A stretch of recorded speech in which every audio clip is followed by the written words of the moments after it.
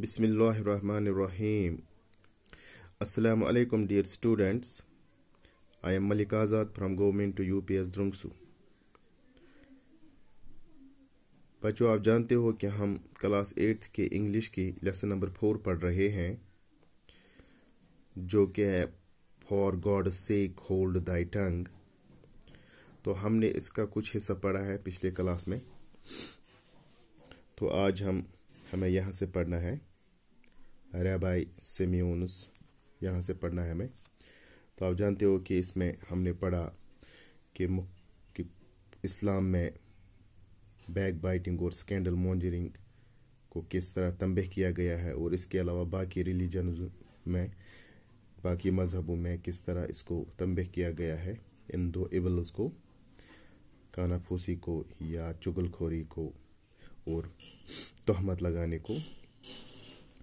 तो हमने इससे पहले यह भी पढ़ा है कि गौतम बुद्धा ने भी अपने आठ जो उसके फोल्ड हैं, आठ हिस्सों पर मुश्तमिल उसका जो पाथ है, उसमें उसने किस तरह इन दो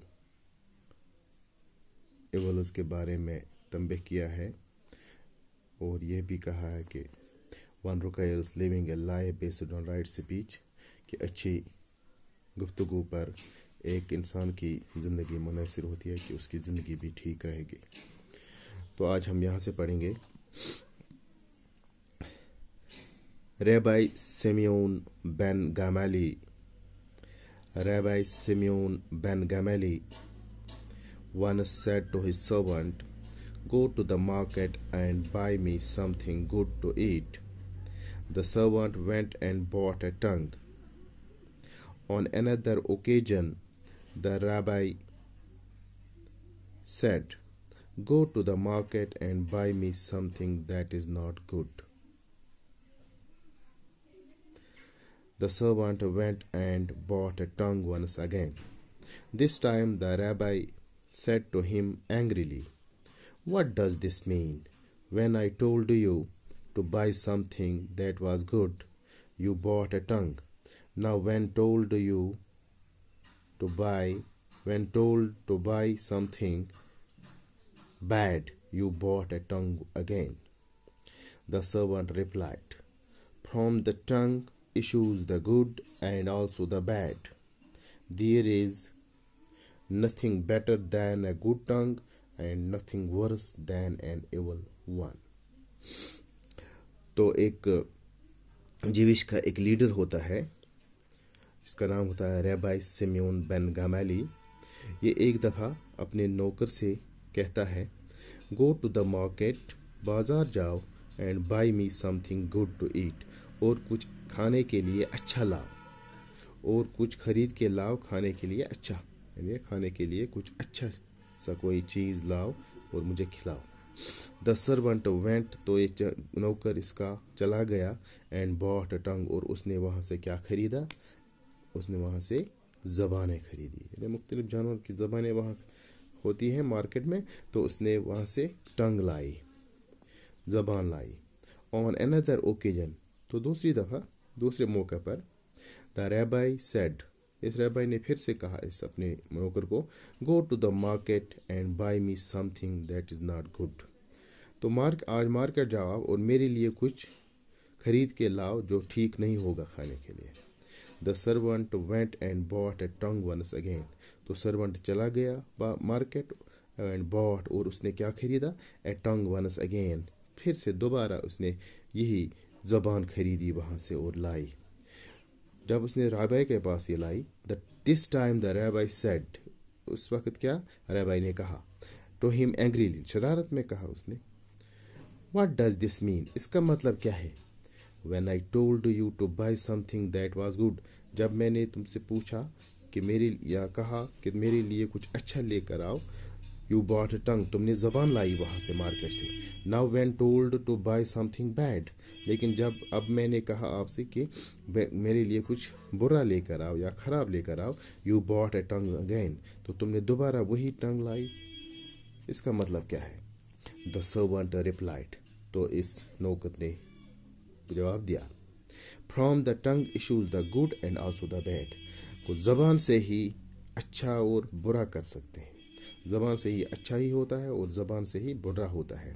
There is nothing better than a good tongue यानी दुनिया में अच्छी टंग से अगर अच्छी ज़बान होगी तो उससे कोई अच्छी चीज़ नहीं है दुनिया में।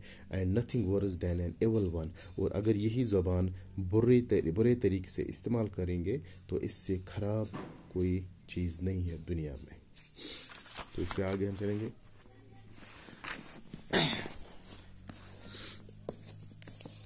Soon after that incident the Rabbi invited his disciples to a meal at which both soft and hot tongues were served the disciples ate the soft ones and left the hot one untouched Noticing this, the rabbi said to his disciples, As you choose the soft tongues and reject the hard ones, so also use only a soft tongue in your conversation with one another.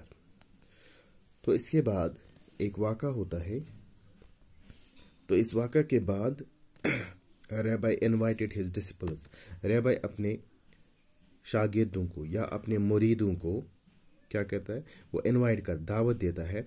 तो मील एक दावत देता है at which both soft and hot tongues were served तो उसमें वो tongues लाता है, ज़बानें लाता है मार्केट से, फिर उन्हीं को बनवाता है। लेकिन कुछ ज़बानों को वो सॉफ्ट अच्छी तरह पकाता है, वो सॉफ्ट होते हैं, लेकिन कुछ को ऐसे ही रखते हैं, वो हार्ड रहती हैं और इनको इनको परोसा जाता है। दिया जाता है मेहमानों को। यानी इन डिस्पल्स को अपने the disciples ate the soft ones and left the hard ones untouched तो डिस्पल्स कौन से ये मरीज़ जो होते हैं इसके, या शागिरत, ये कौन से टंग्स खाते हैं जो सॉफ्ट नरम होती हैं? और जो सख्त होती हैं, उनको वो टच भी नहीं करते हैं, हाथ भी नहीं लगाते हैं। नोटिसिंग दिस ये देखकर the Rabbi said to his disciples ये रेबाई इन शागिर्दों को, अपने मुरीदों को कहता है as you choose the soft tongues जिस तरह तुमने ये नरम और मुलायम जबानों को चूज़ किया and reject the hard ones और जो हार्ड वंस थे इसमें टंग, उनको आपने रिजेक्ट किया, उनको आपने हाथ भी नहीं लगाया so also use only a soft tongue in your conversation with one another लिहाजा इसी तरह अपने एक दूसरे के साथ नरम लहजे में, नरम जबान से बात किया करो, गुफ्तगु किया करो। So in this context a quotation by Corrales is worth mentioning. तो इसी कंटेक्स्ट के बाद हम इसी कंटेक्स्ट में इसी आ, इसी कंटेक्स्ट में एक कोटेशन कोरेलस की है जिसमें ये लिखा गया जिसमें ये लिखा गया है give not thy tongue too great liberty lest it take the prisoner A word unspoken is like the sword in the scabbard. Thine, if vented, thy word is in another's hand. If thou desire to be held wise, be so wise as to hold thy tongue. Give not the तो इसमें कोरेलस कहता है give not thy tongue your tongue too great liberty कि अपनी जबान को ज़्यादा आज़ादी मत दो lest it take thee prisoner इसको लगाम दिया करो। इसको जेल, जिस तरह जेल में रखा जाता है किसी चीज़ को तो इसको अपनी जबान को भी लगाम दिया करो। इसको खुला मत छोड़ो। A word unspoken is like the sword in the scabbard अब एक वर्ड जो अभी कहा नहीं गया है, एक वर्ड या एक लफ्ज़ या कोई बात जो हमने नहीं की होगी, वो इस तरह है जैसे तलवार म्यान में होती है, बंद। If vented thy word is another's है लेकिन जब ये कहा जाता है ये वर्ड तो ये दूसरे के हाथ में होता है फिर। If thou desire to be held wise अगर तुम चाहते हो कि तुम दाना बन के रहो be so wise as to hold the tongue तो अपनी जबान को वाइज रखने के लिए तो, तो वाइज रखने के लिए अपनी जबान को आपको लगाम देना है उसको आपने अच्छे तरीके से इस्तेमाल करना है। One should as such always remember this important lesson so that we may refrain from the malice of scandal mongering and backbiting. Moreover, we should always recite this important prayer.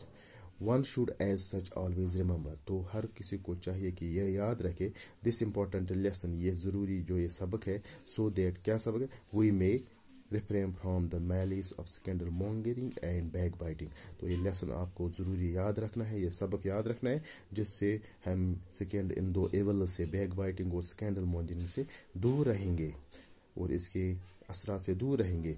More over इसके अलावा we should always हमें, हमेशा ये दुआ पढ़नी चाहिए, अल्लाह से ये दुआ मांगनी चाहिए। क्या दुआ है? यहाँ पर देखिए आप my God God my tongue from evil and my lips from speaking deceit.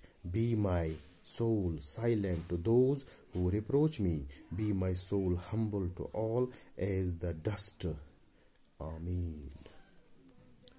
My God, मेरी अल्लाह गॉड माई टंग फ्रॉम एवल मेरी जबान को बचाइए हिफाजत में रखिए बुराइयों से and my lips from speaking deceit और मेरे लिप्स को भी बचाइए दूसरे को धोखा देने से be my soul silent to those मेरे रूह को चुप करके रखिए या बंद रखिए।